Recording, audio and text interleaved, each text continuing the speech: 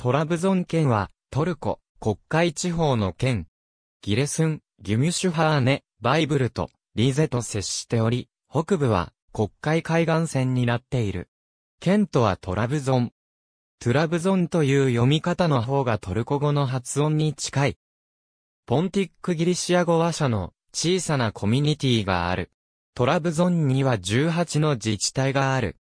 このうち、ベシークデューズ、ベクフッキビール、サースバズ、アクソバット、ヤムラ、アーシン、アラクル、セルミン、オブの各自治体が海岸線に位置しており、トーニャ、デューツコイ、サルピザール、モスク、コープラバズ、ダニックパザー、ヘイラット、スカラが内陸に位置している。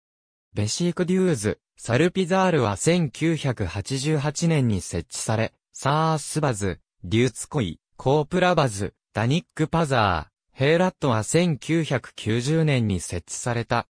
県都であるトラブゾンは、シノプ周辺から移り住んだギリシャ人たちによって建てられた。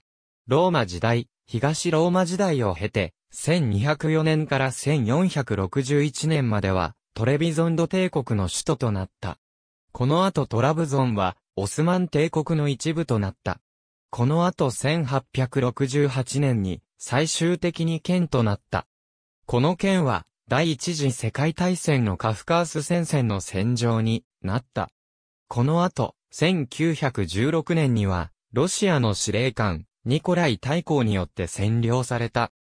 この占領は1918年のこの戦争の終焉まで続いた。